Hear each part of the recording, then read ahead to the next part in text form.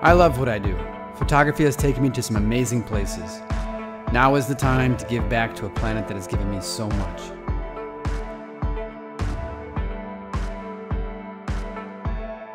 Well, I'm going to get started today, and I want to thank you all very much for taking the time to join me. My name is Derek Nielsen. I am a wildlife photographer. Many of you may have seen me running around the building. I also do personal training for a few clients in the building. In these photographs, I'm 27 years old. I just left college, or a few years out of college, and at this point, I feel like I have it all figured out. I was living with my girlfriend. We just moved in together. I'd convinced her parents of that.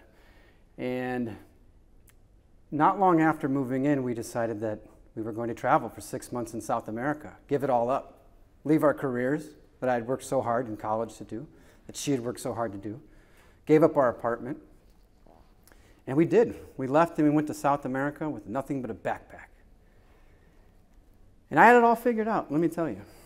It only took three weeks for me to end up on the side of the road in the middle of the night, ditched by a bus who told me I was on the wrong bus. I had it all figured out. and this is a true story. I, my wife and I were in a small town called Pichilemu. We were making our way down to Puerto Varas. And Puerto Varas is a, another town further south along the drive. And our bus was coming in 11:55 p.m. Well, when the bus showed up at 11:55 p.m., nobody told me that it was the bus that was running late from an earlier time. And so I got on the bus. The person took my ticket and they said, "Welcome." And she was dealing with a little bit of a stomach bug, so she wasn't feeling great. And so I quickly was on the bus and we laid down, settled. And some about an hour and a half into the bus ride, the person came around to check the tickets, tapped me on my shoulder, woke up, handed my ticket, and their eyes lit up. I was on the wrong bus. I, it was heading the exact same place that I was going, so I didn't see the harm in being on this bus. However, they told me that I had to get off this bus in what would kind of be like the middle of Iowa. There's nothing around. I barely speak the language, even though I thought I did. Uh, Chilean Spanish is very different than the Spanish they teach you in high school. So, sure enough, my wife and I, we get off the bus, and we're sitting there. It's about 2 o'clock in the morning, and the person said, We'll just flag the next bus that comes down. I promise there's going to be another one coming. Sure. I had a tent, thankfully, and if worse comes to worse, I was planning on camping in a farmer's field that night and hitchhiking back into the next town with who knows how far along that was. But I had it all figured out. it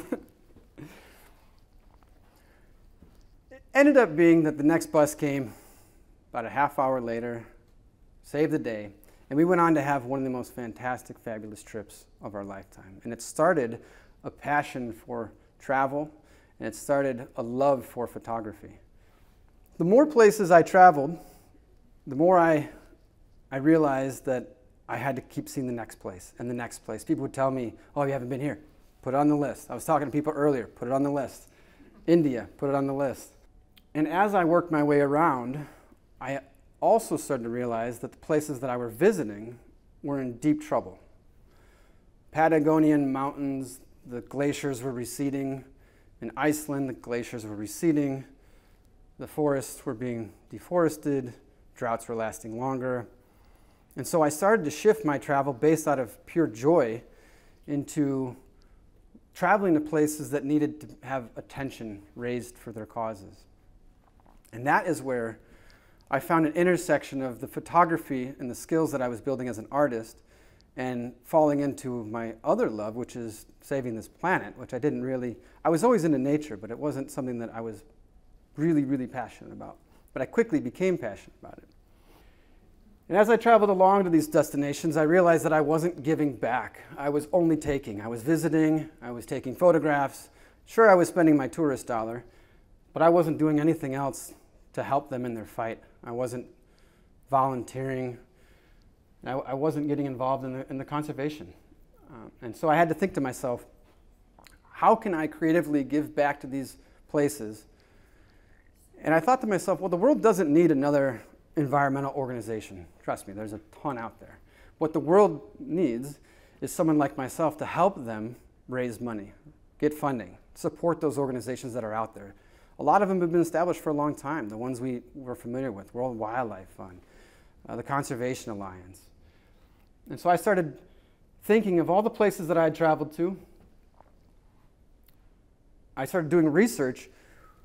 What organizations were worthy of, of teaming up with, or which would allow me to team up with them? And so I handpicked a, a small group from all the places I was going to. They happened to be just over seven because I've been to seven continents now. And I donate at least 10% of my sales to these environmental organizations. Uh, so each of these prints, when I, when I sell them, uh, if not at an auction for full donation, I will donate 10% of all my sales back to environmental organizations that are in the places doing the work. So I'm having an, an, a fundraiser in, in November. And so I just so happen to have these on hand. That's why I have them here. But my work in East Africa and, and all of Africa actually goes to help benefit Dr. Gabby Wild because she's doing, she's a wildlife veterinarian in Africa saving African animals. And that just makes sense, a direct connection. I'm not selling photos of Chicago to help some wildlife veterinarian in Africa. That wouldn't apply to my, it wouldn't resonate with my collectors. But knowing that when people buy a print of mine that it goes to help an organization in the place that's doing the hard work, it made sense. So that's how I formed Derek Nielsen Photography. But who is Derek Nielsen? I grew up 45 minutes northwest of the city of Chicago in a small town called Gilberts, Illinois. At the time, it only had, when I was growing up, there was only about 100 to 200 people. And it was basically what I thought was the edge of civilization. Farm fields, and behind me, when I was growing up, there was a forest and a swamp. And I didn't have a ton of friends just because there weren't a lot of people living there. So the friends that I did have, if they couldn't play, I had to entertain myself. So I'd go behind my house and play in the swamp, catch frogs, chase snakes. My mother loved that, bringing those home. And that was just a way, it was my way of life. I, I, fell deeply in love with nature. It was a friend of mine early on. And this, my mother brought me this letter uh, last, last year. It was something I had written when I was about 10 years old. And it says, How can I make the world a better place? I would stop the rainforest getting chopped down I would save all the animals from getting killed for fun. I would stop the gangs from killing people, and I would talk to the president to help people. So I, I, clearly, at an early age, had a passion for wanting to give back and wanting to help, and I knew that I didn't know then, but I knew that I wanted to be involved in uh, saving wildlife early on. So where it's taken me now, I've been to all seven continents. It started with that dramatic trip down in South America where I convinced my girlfriend and her family to let me take her down there for six months. And then it's just gone around the planet chasing these causes and things that I've, I've done my research and finding out about. Who here's been to a national park? Probably a lot of us, right? How many people have been to a different continent? Yeah. How many people have been to two or three continents? Let's say three, okay? I'm going to skip forward. How many people have been to all seven continents? Okay. So I'm finding myself in this rare category of people who've decided to travel to these places, and I don't think it is any sort of elitist thing. It's just some, it's just a fact. I've, I've seen things with my own eyes. I've spent the money. Um, now that I'm a professional at this, I have people help pay for these trips, which is great. But for a long time, it was basically our travel and our vacation. I would get ideas from, actually, she's here today, Betty Phillipsborn, and Tom, her husband, had traveled to Borneo and inspired me to go to Borneo. So I researched what was going on in Borneo. And sure enough, they were experiencing some really severe environmental issues. And so I went there and I decided to take some photography.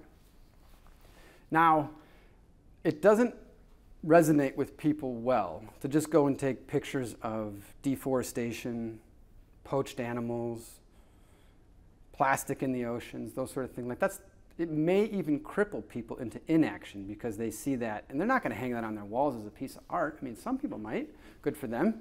Maybe some people with the MCA that Ann Kern is familiar with, they, they could see that as some sort of art. Most people don't. I would have to tell a pretty good story for them to hang that on their wall. But what does resonate is a really pretty picture of wildebeest, maybe not them, but definitely the leopard, gorillas, or an elephant. And so I decided, again, that I was going to travel these places taking photographs of really beautiful animals. Recently, my trips have been to East Africa. As you'll see in the brochure, I'm starting a safari company aimed to give back to the locals instead of typically wealthy European and American companies running the operation and not giving back nearly enough to people in Africa. So, what does a day in the life of a wildlife photographer look like? And I love saying that. I'm a wildlife photographer. It's a pretty cool profession. It's not easy, I'll tell you that. It, it has taken a lot out of me, but every single bit of it is, has been worth it. When I landed in Kigali on my first time in Africa, our guide took Kelly and me directly to the Genocide Museum because they have a long history. Well, they have a, they had a, 1994, they had a really unfortunate thing. I'm sure most of you know they had a bad genocide, but it's still the people who are living there today. It's still fresh to them, and they want outsiders to see that. So they took me directly there. On my second trip, just this April, my driver picked me up, took me right to the Genocide Museum. Pretty heavy entrance into a country. After the museum, they took me out back, and there was, an, there was a, a few pins that had exotic animals inside. They were just snakes. And I looked at my guy and I said, Well, where are these from? And he said, Don't worry, they're in the jungle. The next day, I was headed directly into the jungle. I said, What's that? That's a black mamba. Don't worry about it. What's that? King cobra. And that, puff adder. I said, What happens if one of those bites me? You're going to die. There's there's no anti-venom for some of it. And if you can find a hospital, hopefully they get you there in time. Uh, they may be able to save you or save your leg or whatever they, it bit. So the next morning, alarm clock goes off 3 a.m. I'm hopping on this Jeep and into the bush we go. And I'm expecting to be in deep forest, but what I notice is that Rwanda has been cultivated and turned into tea plantations. A lot of the country, it's one of the most dense populated country, countries in Africa, and its land resources are being consumed relatively quickly, and most of it is for tea plantations from the European and Asian markets. A lot of these tea plantations are owned by Asian companies in China. But after I got through the, the tea plantations, it started to open up into forests that were still remaining, and then I, I found myself at the foot of the national park, which is where the chimpanzees were going to be that I, I paid to go see and, and track and photograph and, and tell their story. Well, by 7 a.m., it was already 90 degrees, and the humidity level was some of the hottest humidity I've ever felt in my life. And we were going to spend the next seven hours tracking chimpanzees through this, this forest where the snakes were. And we found them.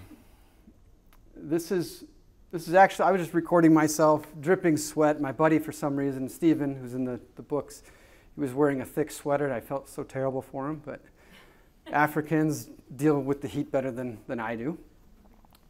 And we came across this, this group of chimpanzees in the it's still early morning in the dense, dark jungle. Light hadn't really made its way into uh, the forest floor yet, and these two chimpanzees took off immediately as soon as they saw us. They don't love humans because we are in direct competition for their natural resources, and we are chopping down their, their homes and planting. And when the chimpanzees run out of food or start to starve, they go back into the villages and steal the food. Of course, the locals don't like that, so they fight. They are, they're making an enemy out of this animal, um, and, the, and the animal doesn't love us now. So it's when they do see you, they take off. Well, I heard them ripping through the jungle, and they were gone. And I had already tracked an hour and a half through this hot stuff. I'm dripping sweat, looking like this. A tiny little hangover because I was celebrating my friend's 30th birthday the night before as well. and the ranger looked at me and said, Well, we'll go find them. Okay. Four more hours of trekking through up and down, up and down. Dense, muddy jungle full of these friendly snakes. And we eventually came across this, this pair that were up in the canopy. And I had a 100 to 500 millimeter telephoto lens and I could get a nice photograph of them. I was ecstatic with the work.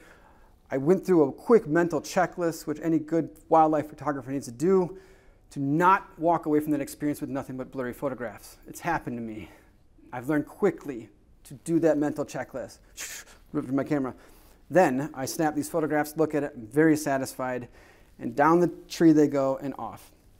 Now, if that was my only encounter with them, I would have been thrilled because I know that in wildlife photography, there are no guarantees. They, animals don't, especially wild animals, they don't pose for you.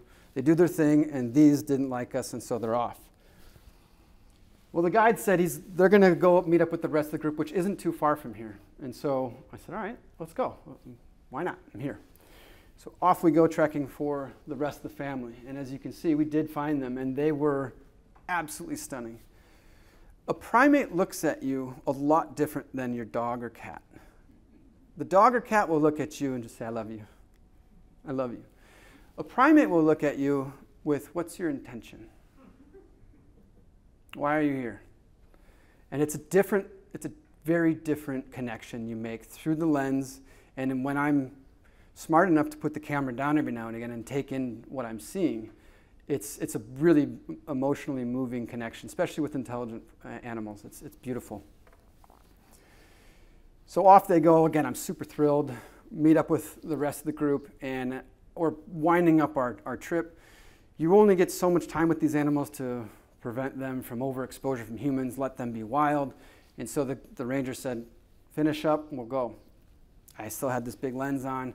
I'm packing it up. I looked to my right, and at that moment I spotted a, full grown female chimpanzee as close as Anne and I are to each other right now. And she was just blending in with the darkness of the, the forest floor. And I was so consumed with the ones that I was looking at above that I completely missed her. So I set my camera down and I sat on the ground next to her this distance, safe distance. And we just gazed into each other's eyes. She was, there was so much nonverbal communication going on between the two of us. There's so much the nonverbal communication that happens with people. But I was doing this with the chimpanzee. It was flat, she was flapping her lips, and the ranger said, She likes you, she's trying to communicate, there's no harm. I switched my lens at the very last encounter, and I backed up with something that was that could take in the whole scene, and this is her. I'm going to let you look into her eyes just as I did that day, just for a moment, and, and feel a bit of the passion that she brings out in me. It's just, this is exactly what I do. This is why I do what I do, is for these connections, and to tell her story, to come back home and, and tell people that it's worth saving. The things that we do directly impact what's happening abroad, um, our, our choices as consumers.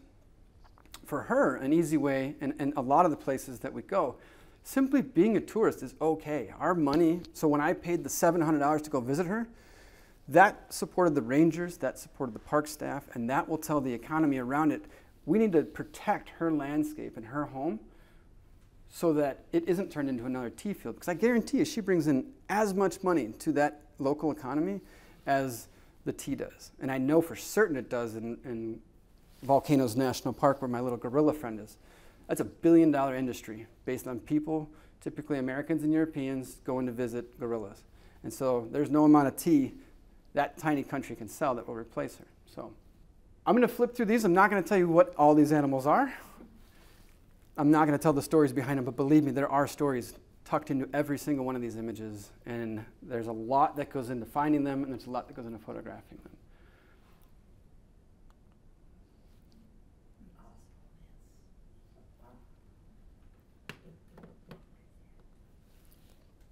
So one thing that I try to do as a photographer is create emotion. I think that's really important to do with your audience. To tell scale, to tell a story inside of the photograph itself. As you can see, like I could, I have a more photos of just giraffes than you can imagine. It's kind of impulsive when you're around them just to photograph them, but then it ends up just being another photograph of a giraffe. There's really nothing special about it. It's just like, that's a giraffe. Good, good picture. What I try to do is show that its landscape, give it a, a little bit of its home, let you imagine what it would be like to be there with it and what it's looking out at. The connection between the mother and her baby as they're making their way across the sunset Uh, those sort of connections as a photographer are the things that I'm, I'm really honing in on and, and trying to bring to my audience and collectors. What is that? A baby something? What is Yeah, it's a baby gorilla, and it, it, it looks that way because it was raining that day. And their hair mats up and gets really curly and cute. It's adorable. The day actually that, that I was going to take that photograph, I was a little bummed out because it was raining and I had to trek up a sloppy mountain and find these little things. When I got there, I realized that I, did two days back to back. The first day was beautiful, and the second day, I realized that I actually struck gold because my photographs were going to be completely different than they were the day before. But yeah, it's, it's just a little baby gorilla who stole my heart. and so did this one.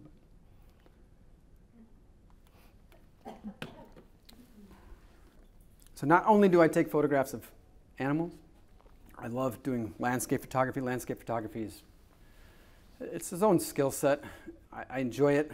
I don't enjoy it as much as the animals. I think they're just been my passion my whole life. And I also do photographs of people. People are a completely different skill set. Oftentimes, people think tribes, and some people will think because of their beliefs that if I take a photograph of them, I'm stealing their soul or a part of them. And it's not as easy as, even though it's difficult, a chimpanzee or something. They don't say, hey, you stole my soul, give me the camera, or how dare you take my photograph, or threaten me with physical violence because I took their photograph. I learned on, on this particular trip in July of 2021 a quick lesson in humility when it comes to photographing people. I showed up at the Hadzabe tribe of East Africa. They're a hunter and gatherer nomadic tribe that is still practicing the way of life that we, have, we had done thousands of years ago. They're still practicing that. And they speak in a language that has clicks and tones. It, it, I had to use a translator, and he's actually right here. His name's Alex. He's brilliant.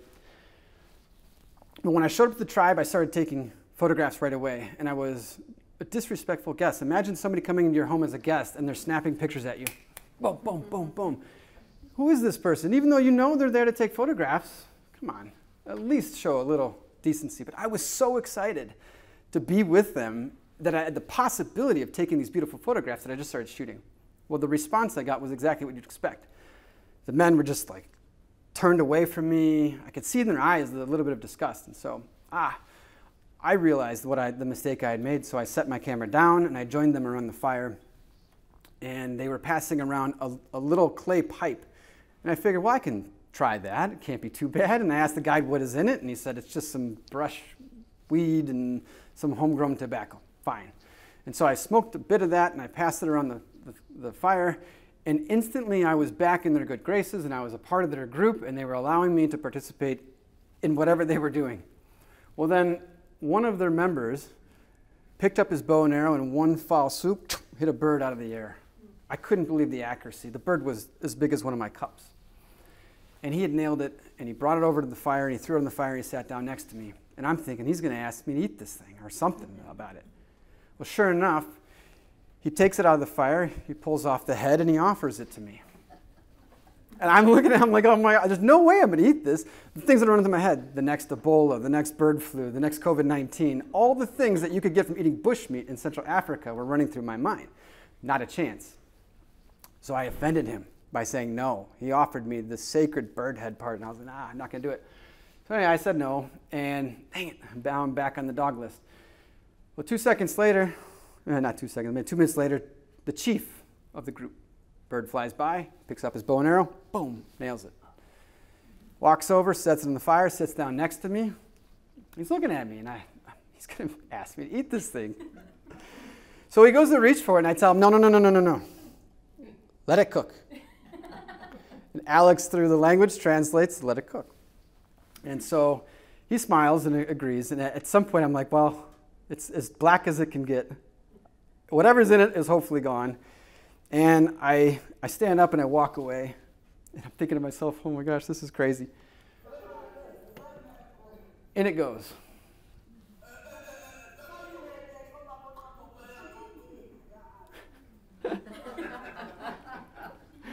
I won't describe the textures. I won't describe the taste. The taste wasn't that bad.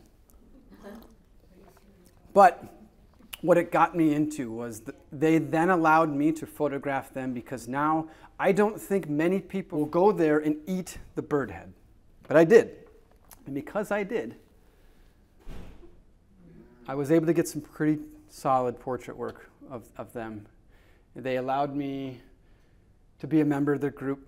I was a brother for that hour. And I actually just returned uh, with my family just this, this uh, July, August, August, and was able to take some some same some photographs of the same group, and they welcomed me with open arms. I was a, I was a returning friend, and it was my my parents were blown away. Wow, tribe from East Africa, the Bushmen, they know you. It's this kid from Gilberts who was chasing frogs now has friends in East Africa. The women typically are a little bit more challenging as a man to photograph. They're not as receptive.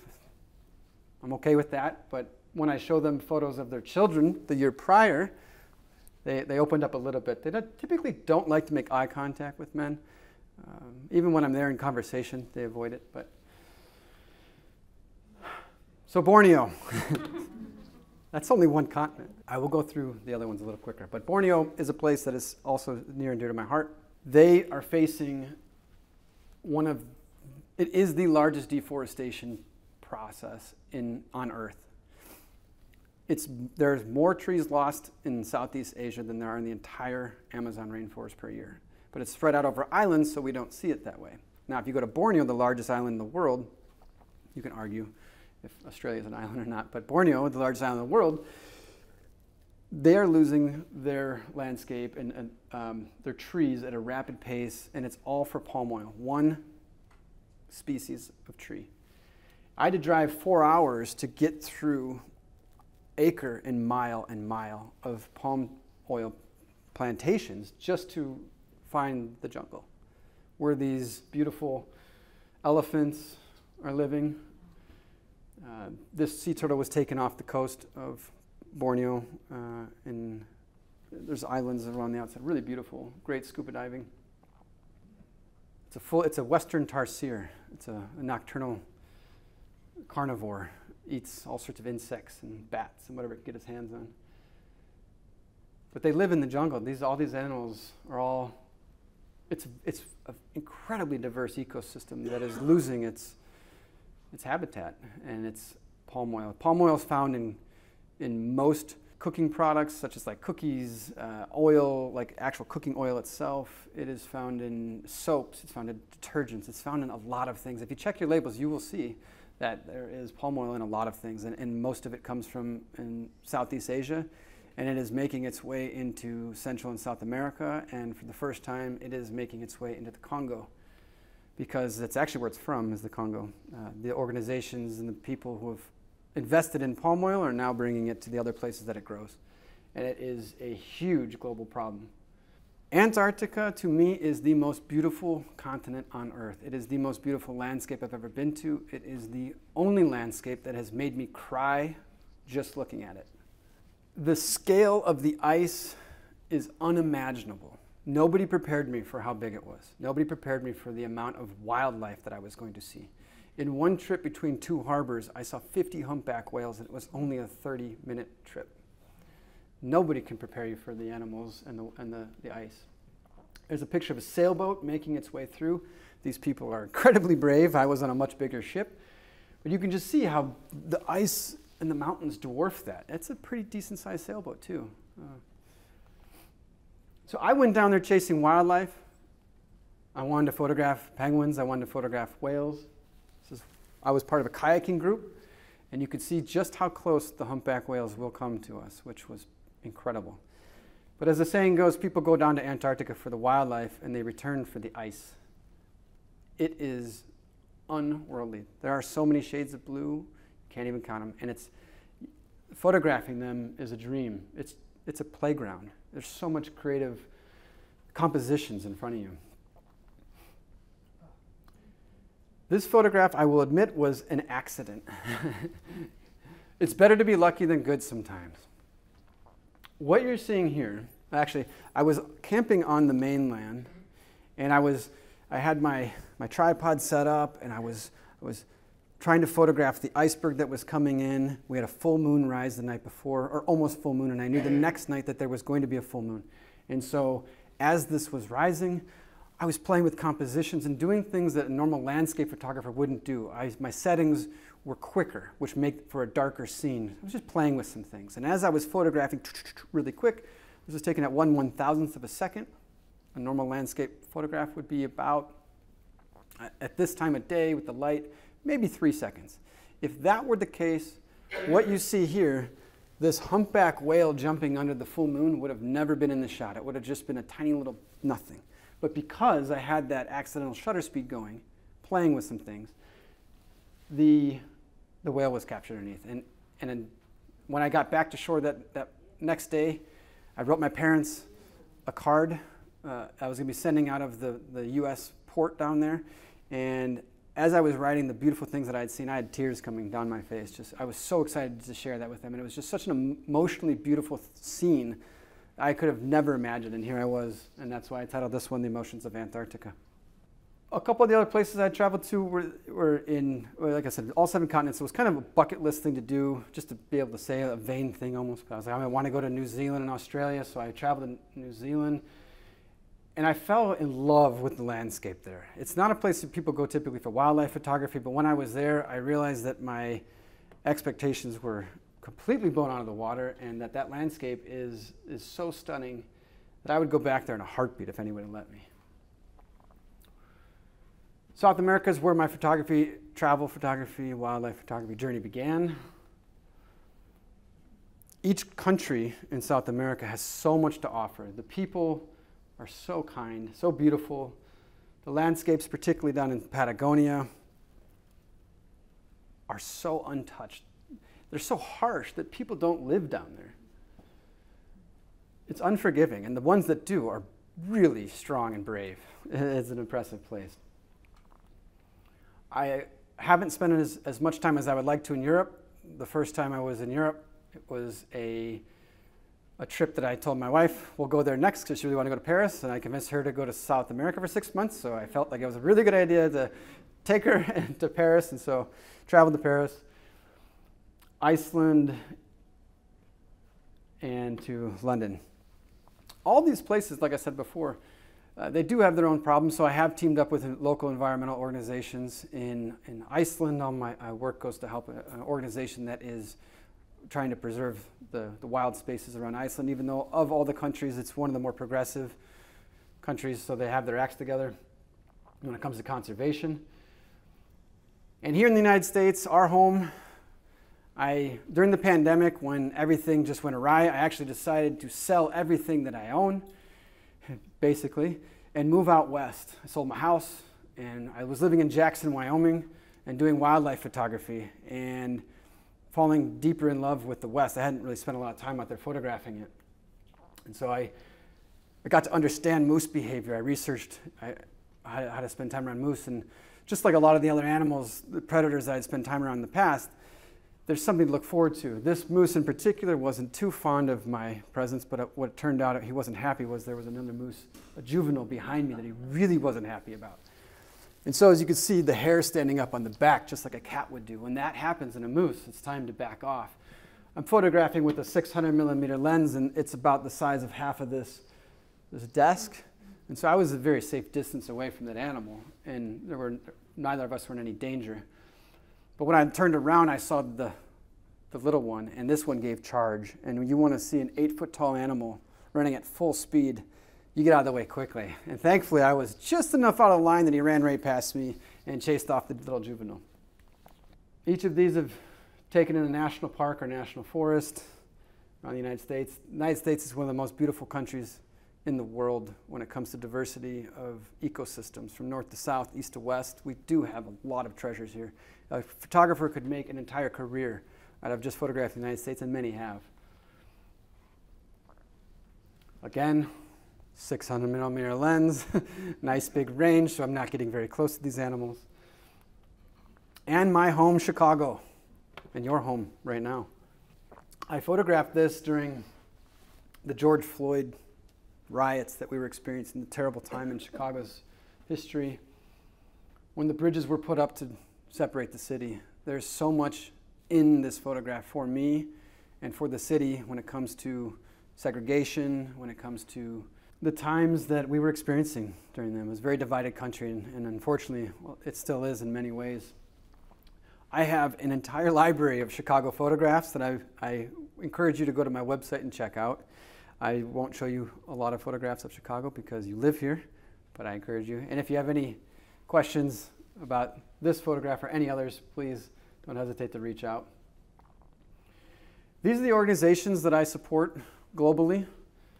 Each of them, as I told you before, is a, a benefit, a beneficiary of at least 10% of my sales, if not 15 or more.